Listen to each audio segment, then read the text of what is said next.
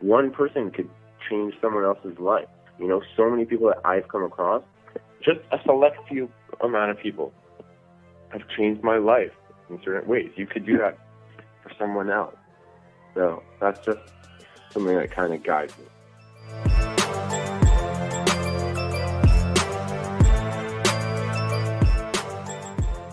This is episode 35 of A Duff Said. I'm your host, Duff Tyler. Thank you so much for hitting the play button on your favorite listening device of choice from wherever you listen to podcasts. It is so good to be back on your favorite listening device of choice. We've been gone for a while. That's because they hit the pause button on high school sports here in the state of Michigan because of the pandemic. But high school sports are back here in Michigan. The state finals for football are taking place this weekend at Ford Field in Detroit, and winter sports are coming. But for this week's edition, I will be speaking to Israeli baseball player Zev Moore. Now, Zev was originally born in New Jersey, but when he was 11 years old, his family moved to Israel. Now, despite being on the other side of the globe, Zev continued to pursue his passion for baseball and he has made quite a name for himself on the diamond overseas. He is currently a member of Israel's under 23 national team. He has also played in six international competitions, and just recently, he was named to the extended roster for Israel's Olympic baseball team. Oh, and by the way, when he's not playing baseball, he's a member of another elite team in Israel. He is currently serving with the Israeli Defense Force. So obviously, this guy has got a lot on his plate right now. He's been keeping himself rather busy. That's why I was grateful when a couple weeks ago he picked up the phone and made some time for me. My conversation with Zev Moore starts now. So, Zev, you've had a very busy life. You're currently playing baseball and you're a member of the Israeli Defense Force. So, what's it like to juggle both being a soldier and a baseball player? Wow, that's a pretty loaded question, but I'd say they, it, it's really my honor to serve my country.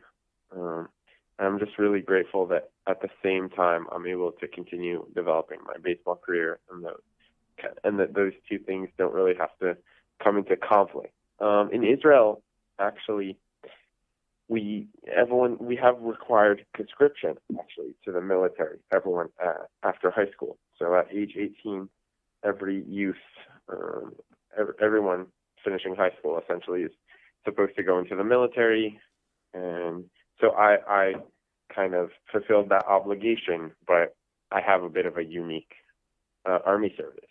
I mean, if one of the players that was just picked in the NBA draft in the first round just now. Deni Avdija was doing the same kind of program just for context, just for example, um, if you know about him. So he was doing the same program, and he got released from the military to play in the NBA now. Um, he's playing with the Wizards. So it's the same kind of thing. Um, yeah. Uh, so it really,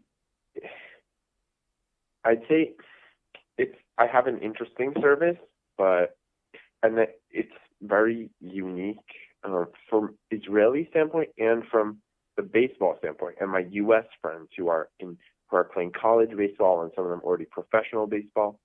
So I'm not going straight from high school to college, but going straight from high school to almost three years in the military, and then going to play college baseball and then hopefully professional baseball.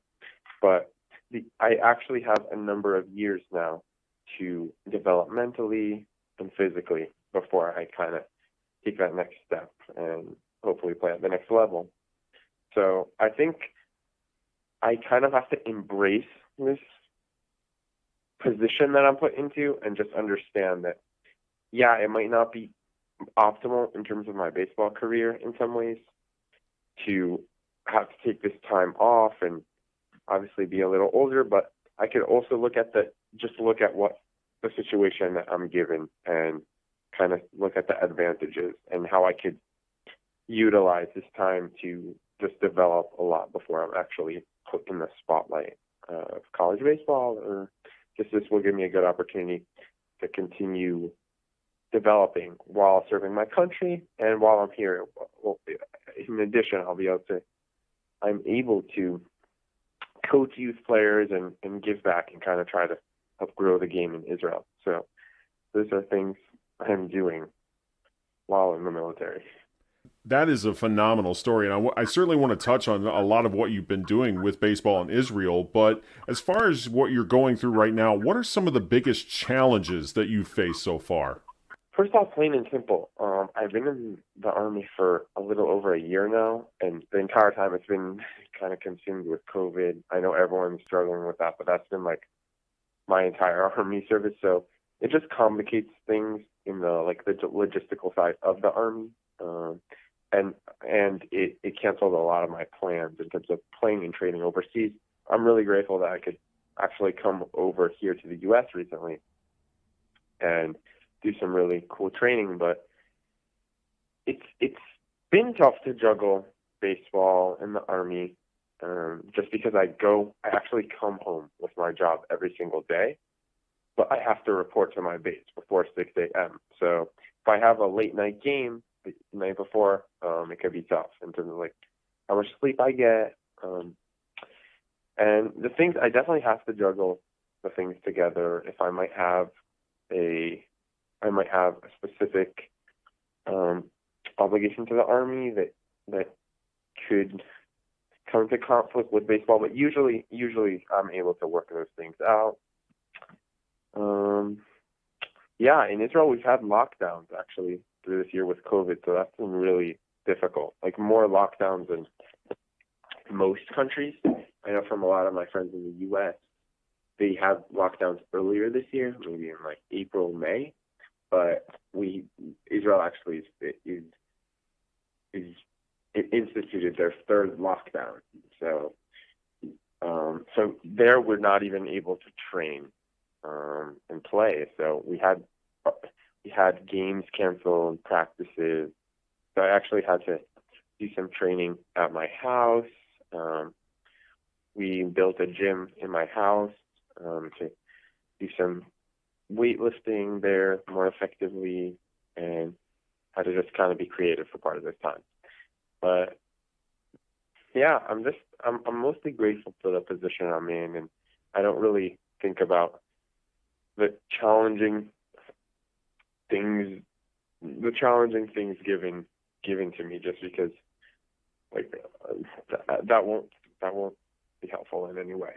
Meaning, I I don't really like looking at the challenges that are given to me, just because I prefer to just focus on the positive and what I can be doing at every given moment to make my situation better and focus on my goals, which is become a better baseball player. Um, and that's just my goals. That's just the goal that I'm focused on 24 7. So when you mentioned that uh, you know you have to be up at 6 a.m. every day, when you're playing those night games and you're playing your position at shortstop, how many times have you kind of looked at the scoreboard and looked at the clock and said, "Man, I hope I, we get back in time so I can get some sleep"? I mean, I think I I haven't done that actually. Like I have to wake up at 5 a.m. and be there by six. I mean, but so those could be those could be a little tough. But I'm smart. Uh, I try to be smart about it, meaning in terms of like naps that I take, and I really value the sleep I can get on other nights. So I I, I just like kind of enjoy it during the game, and and I don't think I've ever really had that thought go through my head in terms of like when will the game be over. I it probably has happened, but rarely. I think on the way back, yeah, this is going to be kind of annoying. Um, and maybe I should sleep in the car if I'm able to carpool with someone. Um, but I think that after the game, for sure. I mean, I don't love getting like five hours of sleep, um, obviously, but I don't that's not really something that I've experienced, I'd say, during the game. It sounds like this is kind of like your escape from reality for a few hours. I mean, everybody says that that's what sports is supposed to do, but when you were in military service, I mean, that's kind of like the strictest regiment that you could be in. So, how much of an escape does baseball provide for you? Um, a huge one, for sure. I mean, I just feel like baseball is my natural habitat. When I go to hit at the batting cage just with a coach and maybe one other player, that's my natural habitat.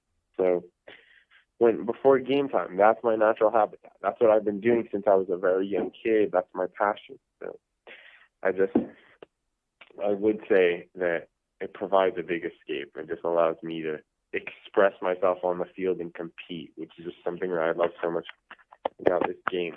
Um, yeah, so it's just something that I love doing. Like the part that I'm most thankful about during this service is, yes, I definitely want to make it to the next level, and I'm working as hard as I can to do that. But I just am eight. I'm most grateful that I'm just able to.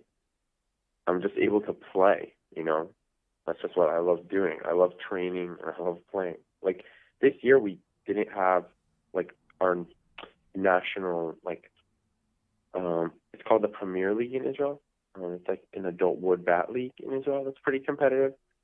So we just because of the lockdowns that just got canceled and our spring summer season got shortened. Um so I haven't been playing in games nearly as much as I usually would. And our national team things got canceled during the summer, so I really haven't been playing in games like I would want to. But people ask me that a lot, like what you like never playing games, and I I obviously love playing and competing, but just training in the process, the daily improvement for myself, and working hard while understanding that it's not just working hard gets me to optimal results, but that it's really like a rocky but uphill kind of slope. So uh, there are a lot of ups and downs, but what I'm getting at is that I just love the process and I love the training as well. Just taking ground balls, um, hitting in the batting cage. Um, it's just something that I love doing. So I'm just so thankful that that's my reality. Uh, yeah. So how long has it been since you actually played a game? Wow. Uh, it's probably been since July or June. So roughly half a year.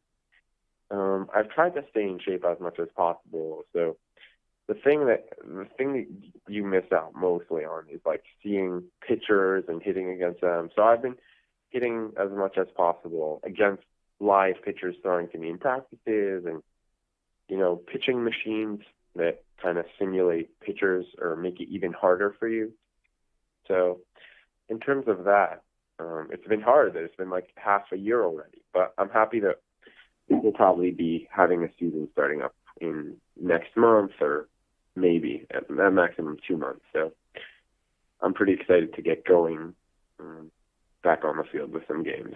What's it going to be like when you finally take your position again and you're back on the diamond in your natural habitat, as you called it?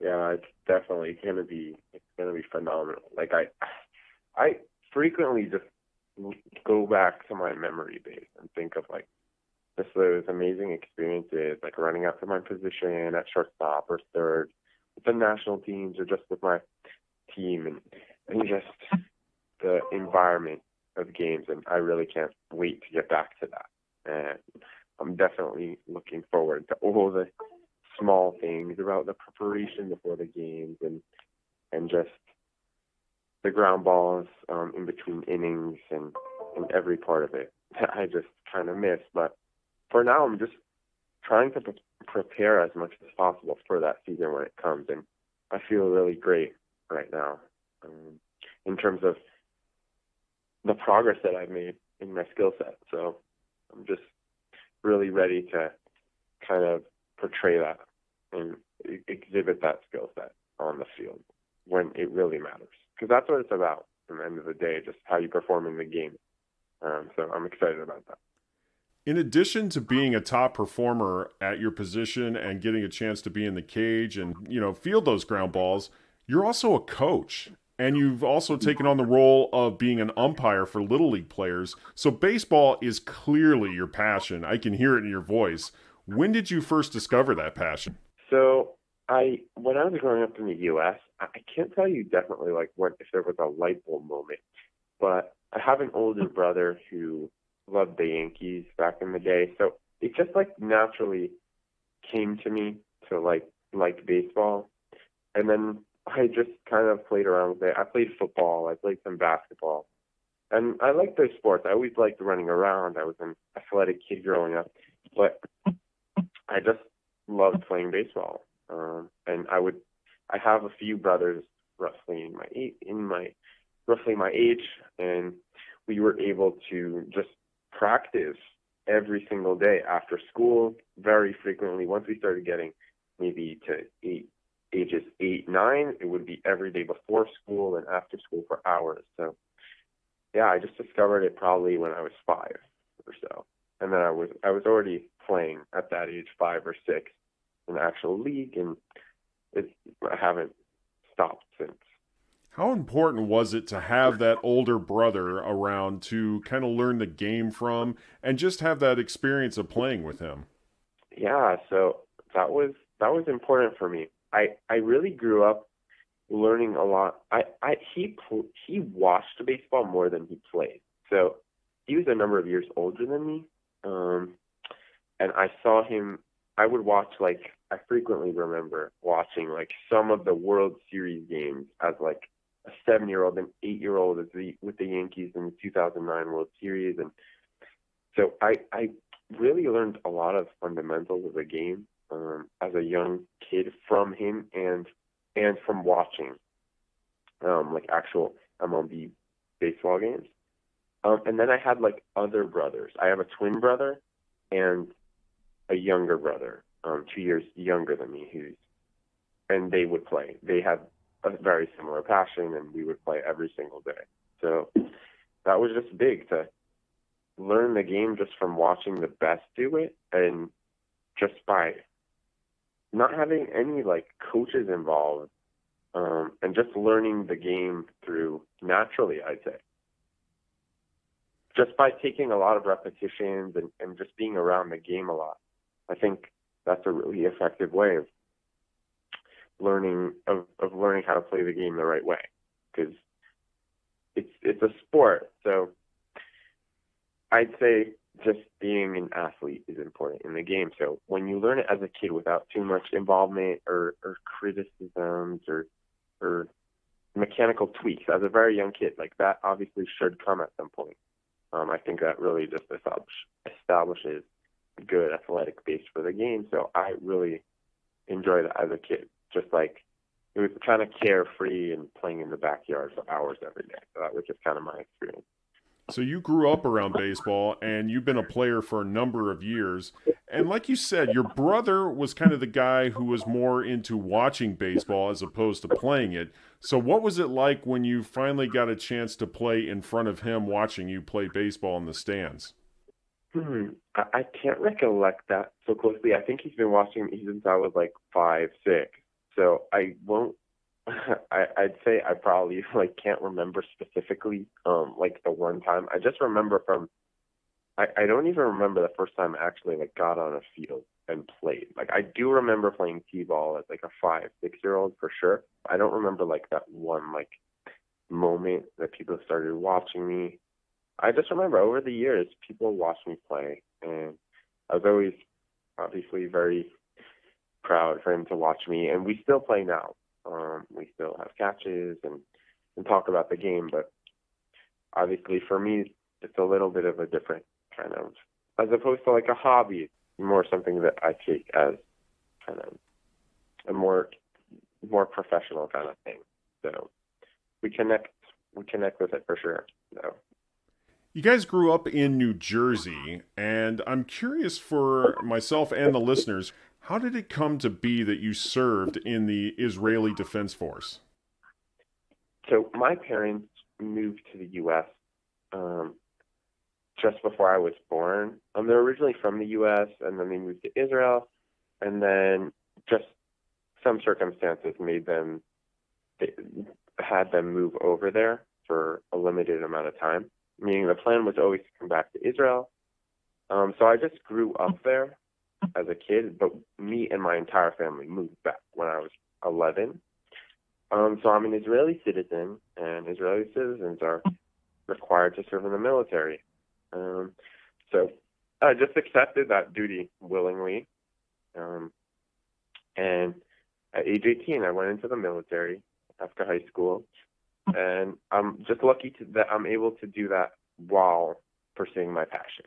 And that those things don't really come like, like I said, they don't come into conflict with one another. That I'm able to do both during this period. It's not that I'm doing something that's so um, heroic compared to a lot of the people, uh, to most of my uh, fellow Israelis. So most Israelis um, after high school do go into the military, um, which is yeah, it's but it is very unique to my friends in the U.S. Um, and in Europe that play.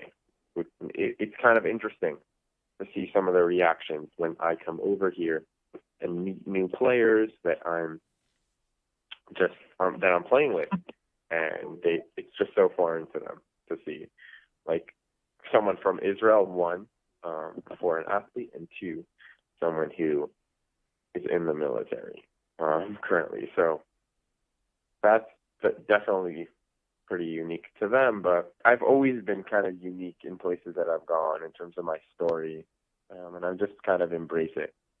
As a member of the Israeli Defense Force, you have been given a special designation called Sportai. Now, this is something that very few people in your line of service are given. What exactly is Sportai, and what's it like to have that kind of opportunity? Only like 200 people a year um, get the Sportai, um, which translates as like outstanding or elite athlete um, status. I'm I'm very I'm very thankful. I mean, I I'm the only baseball player in Israel who has this status currently. Uh, there were people before me that got it, and a number of few, a number of players are joining me um, shortly in this as as sportized themselves. Um, but it it it wasn't an easy it wasn't an easy status to get. I mean, a lot of people apply for it, especially in basketball and soccer and some of the bigger sports, meaning they have only a specific amount of positions based on the size of the sport. And the military is pretty strict with giving out the status, and they just want to make sure that you are truly an athlete that has uh, professional aspirations and a chance to achieve those. Um, so they they don't just willingly want to give out this this status to people. Um, they want their soldiers in more in more combat positions, um, positions that are more demanding, I'd say. So it it's it's a pretty difficult process to actually receive this status, but I was I was really excited when I did get it. I was really thankful to the Israel Association of Baseball that kind of helped me through the process and made sure to kind of help me get it. It goes through them and then through the military, so they kind of have to. The Israel, the association has to recommend um, their top athletes um, to to receive this. So I'm just thankful that everything worked out properly and yeah, like I said, that I'm able to do this while in the military because I really don't take it for granted. Some people say I have like this huge burden of of serving and having to be in the military and uh, with less freedom, I'd say. But for me, I'm like super grateful that this is my option, like as opposed to the alternative where I wouldn't be able to continue my sport. So I'm really just happy about everything the way it's been turning out so far, and I'm the I'm fulfilling that commitment that I have, um, not just to myself to improve my skills, but also to the military and also to the country to represent my country well and to use this time to actually represent um, Team Israel well, which is something that I'm really, really, I'd say even more passionate about. Not just playing baseball, but representing my country and, and playing overseas. What are some of the differences that you quickly noticed when you started playing over on their fields? That's a good question. I've actually been asked that a lot. Um, just like, what are the differences in the game of it? So I came over to Israel as an 11 year old. So I was still really building my base, um, my fundamentals in the game. And I wouldn't say that I, like, knew the culture of the game in both countries so well. I was still only 11 years old, but I'd say the game is definitely a lot smaller here. Um, so you're well noticed um, all the time. So I was actually started playing with the national teams already at age 12. So in the first within the first year that I got to Israel, instead of playing just on my local team in the U.S., I went to playing on the national team.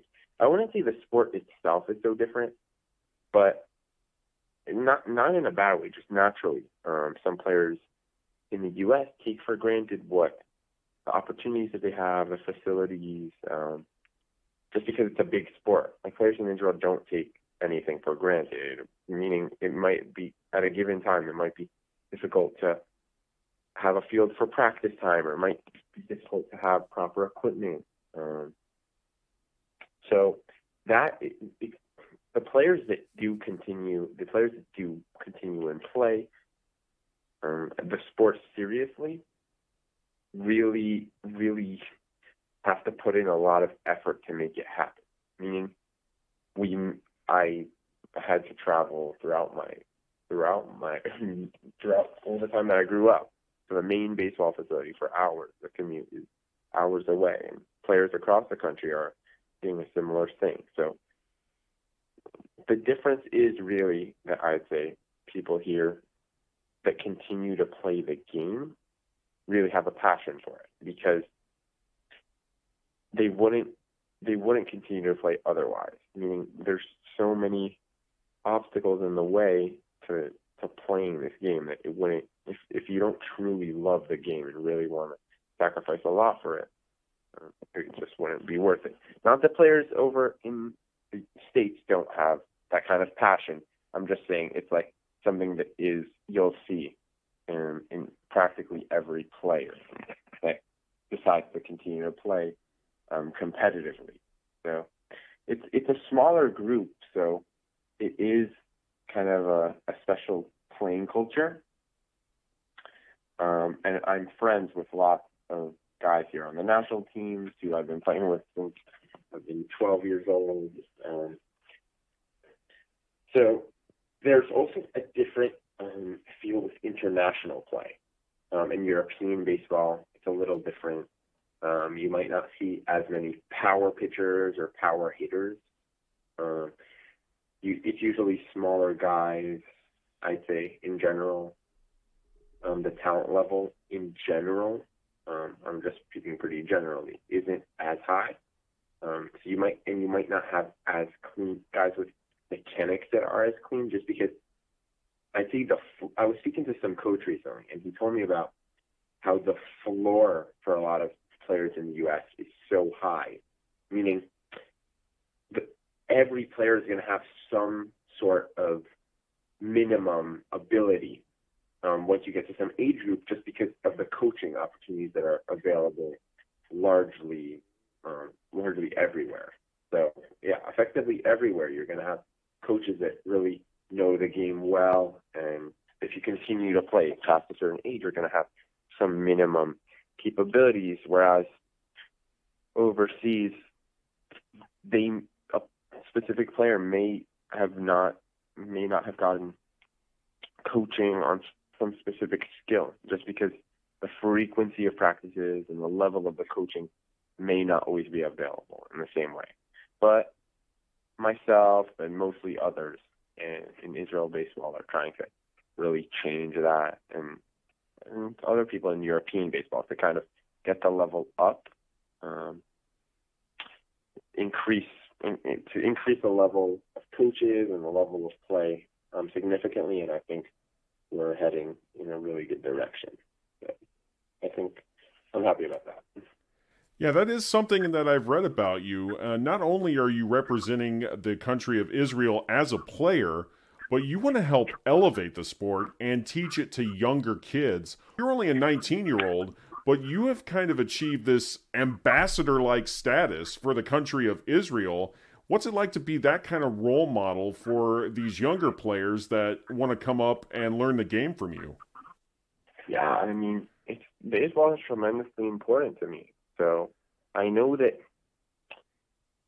it's also really it's it's really important to so many people to have the game of baseball grow in Israel, and I'm one of those for sure. So I say just I think it's my duty as one of Israel's more more accomplished players, I guess you could say, to kind of think it's just important for me to honor the coaches that came before me, um, and everyone who who truly loves this game to to develop to increase the popularity of the sport there.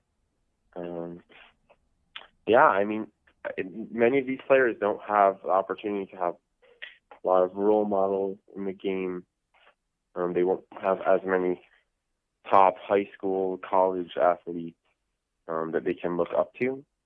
So I think I can serve as that possibly for some of them, and also teach them some fundamentals that and and things about the game that may not be as readily available to them. So yeah, it's really important for me to be on the ground and, and helping as a coach and overall to do my part, to increase the amount of players and the popularity of the game in the country. These kids could not have asked for a better person in you to look up to. I mean, here's part of your resume. You've had a chance to represent Israel's under 23 national team, and you're on the extended roster for the Israeli Olympic team. What is it like for you to represent Israel on those giant stages? Like I said, um, I, I, really value nothing more um, that I've done than those experiences to kind of represent Israel throughout throughout my life. Like those, that's definitely one of the high. That's probably the highlight of my childhood, and and I'm still living that today. Just being able to represent my country and do what I love most overseas, and I'm super thankful to everyone enabled me to do that over the years, which is mostly my parents and the Israel Association of Baseball. But I, I'm definitely um, in the working as I get older and and and better as a player to to kind of hopefully get to those top levels. I mean, I don't know if you know, but Israel played in the World Baseball Classic last um, time around and and really achieved a a, a remarkable achievement there um, in the 2017 World Baseball Classic. Um, and also they're playing in the Olympics, like you said, this in in the Tokyo Olympics. So whatever part of that team that can take place, whether that's just on the extended roster or whatever happens, I'm super excited to be a part of that. And hopefully in the future, I'll be able to be on some of the bigger stages in terms of the World Baseball Classic or the Olympics um, that we have in another seven and a half years already. So that's when the next Olympics are supposed to happen with baseball inside of them. So those are definitely like my top goals, but it, I'd say it's like the highlight of my of my life possibly until this point to just be able to represent Israel with some of my best friends um, and be pretty successful there. I mean, my team of just Israelis uh, won the 18 and under European Championship qualifiers last year in Sweden against some pretty um, some countries that were considered um, teams better than ours. Um, it was a out of the tournament we were supposed we were projected to come in second to last, and we won that tournament actually, um, and really surprised everyone there. So Israel baseball has a lot of young talent, and I'd say again, it's just been an amazing, amazing experience. I've been blessed to be a part of to be a part of representing my country overseas. So that that's really a special thing to me. What are some of your ultimate goals with the sport of baseball?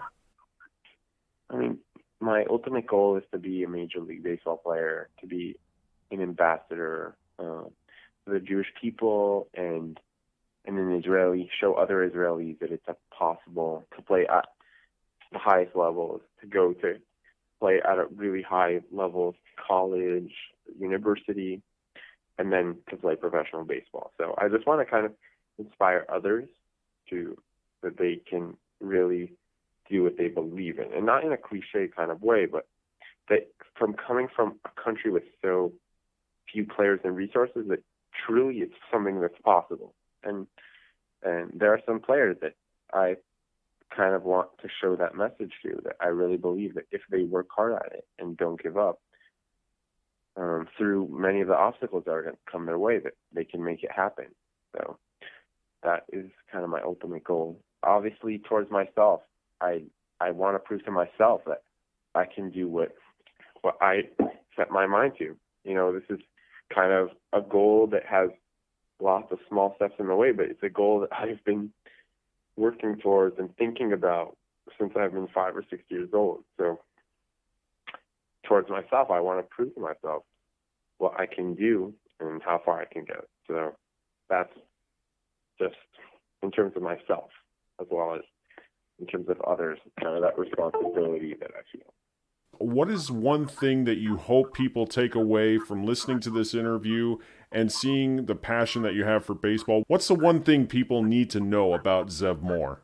I don't think I'm really such a special guy. I mean, honestly, I think what you could take away is just the importance to dedicate to yourself to something specific and make not make your life just about that because I do have other things that are very important to me. Like I mentioned, I'm a religious person and I do have a social life. Um, and I do, and I, um, I enjoy music and hiking and other things, but dedicating yourself to something and just devoting a lot of your time towards one thing could really help you achieve extraordinary extraordinary results and extraordinary experiences. And I think that's really been something good for me. The, the, aside from from just the experiences that I've had, sports and baseball has just taught me like what work ethic and a complete dedication to something um, could help you achieve, and that's going to help me in life no matter what I do. So I honestly don't think I have some really special thing about me. Like I know I came in telling you that I'm happy for you to do the interview, but I just don't I don't know like what's so special about me in a way, but but I'd say that that that dedicate yourself to something and and see where you can get to with that. Because whatever your passion is, um, that's what you're going to be most successful at. Because you can make something big happen if you are passionate about something and willing to work past all adversity that you face and, and just try to achieve that. And on the way, I think another message of mine is like on the way, make sure to give back to others and and and like give to others what you may not have had, meaning inc- meaning improve the situation for others in places that that may not have been as good for you. Meaning, if you had a tough, if you had a tough childhood and were not able to to have access to tutoring or something, maybe if you can tutor other people from a similar area. I'm just like throwing an idea out there, but just kind of to convey my message. It's like I may not have had the best resources all the time um, to improve um, just as growing up, but I think if I can give back and change that reality for any any people um, in a similar situation to mine, um, that will really be improve their lives. Like that could change their life. You can one person could change someone else's life. You know, so many people that I've come across, just a select few amount of people have changed my life in certain ways. You could do that for someone else. So that's just something that kind of guides me. So that's the mentality that I bring into my coaching and and and where I kind of put my priorities when possible. And you can't always be coaching and helping. Um, my main goal right now is obviously to advance myself as a player, but when you can, or, or depending on your availability, it's important to help others. So, my man, that right there is why I wanted you to be on this podcast. Not only are you serving your country, but you're following your passions in life. You are going after your number one goal of trying to be a Major League Baseball player, but you're also somebody who likes to give back and help others. Those are the kind of people I like to have on as guests of this podcast. Those are the kind of people I like to meet in life. Thank you so much for making the time for me this week on A Duff Said. It was a great conversation. Thank you so much for being on the show this week. Thank you. Thank you for talking to me. I really appreciate it. Now, someone else I need to give thanks to for helping this edition of A Duff Said happen is Zev's aunt, Dr. Donnica Moore. Now, Dr. Donnica is a friend of mine through social media, and just recently she reached out to me and said, You know, you ought to have Zev on your podcast. He would make for a very good interview. And she was right. I mean, who am I to argue with one of the nation's leading voices in women's health? I mean, seriously. Now, Dr. Donnica is a published author and a speaker on women's health issues, and she also has her own podcast. So, from one podcaster to another, the next time you're on Apple Podcasts, be sure to check out In the Ladies' Room with Dr. Donnica. It's the only ladies' room you can enter without waiting in line. So head on over to Apple Podcasts and hit the play button for Dr. Donnica. She would greatly appreciate it. Well, that's going to wrap up this edition of A Duff Said. Our next episode will be dropping real soon, so be on the lookout for that. But until then, this is Duff Tyler reminding you that if Duff said it, it must be true, because that's what a Duff said.